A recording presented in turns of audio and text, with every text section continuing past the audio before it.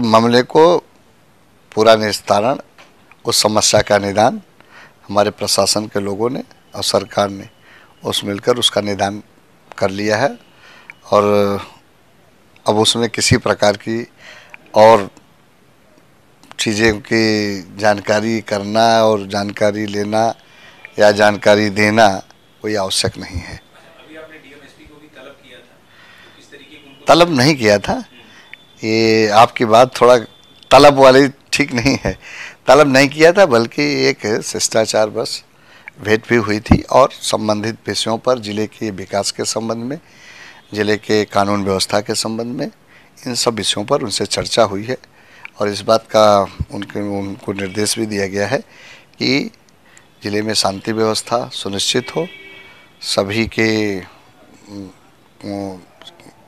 सभी नागरिकों की बातों को सुना जाए उनकी समस्याओं का निदान किया जाए और इसको गंभीरता से लिया जाए इस बात का निर्देश दिया गया है। एक आखिरी सवाल ये है कि 25 तारीख को अयोध्या में ढेर सारी जो है जनमानस इकट्ठा होगी सरकार की तैयारियाँ किस तरीके से आप लोग क्या चाह रहे हैं? कब तक राम मंदिर बन जाना चाहिए? जो- उठा भी रहेंगे राम मंदिर हो जाएगा। आपका ये ये ये विषय पर जो है मामला जो है विधि संगत जो होगा न्याय संगत होगा वो सरकार काम करेगी अच्छा पच्चीस को जो जनमानस इकट्ठा हो रहा है उस पर सरकार किस तरीके से अलर्ट है क्योंकि आप भी बगल की सरकार सरकार जो है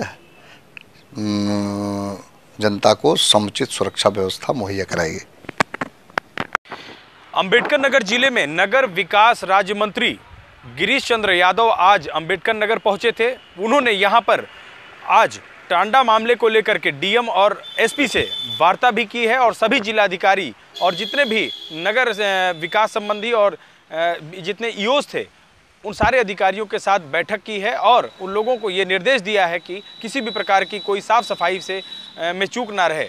उसके अलावा उन्होंने डीएम एसपी से टांडा मामले पर जो भी बातें थी वो पूछी हैं और इसके अलावा एक साफ़ साफ़ ये भी बात कही है कि जो टांडा का मामला था वो फ़िलहाल अब समाप्त हो गया है, लेकिन आगे ऐसी घटनाओं की पुनरावृत्ति ना हो, इसके लिए प्रशासन को सतर्क रहने की भी आवश्यकता है।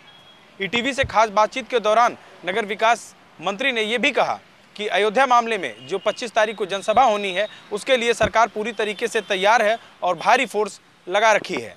पंकज मिश्रा ईटीवी भारत अंबेडकर नगर।